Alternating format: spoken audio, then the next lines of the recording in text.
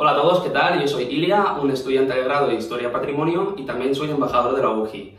Ahora en estos momentos me encuentro en un piso de estudiantes ya que con toda esta situación no podemos seguir con la docencia presencial, no obstante me gustaría decir algo.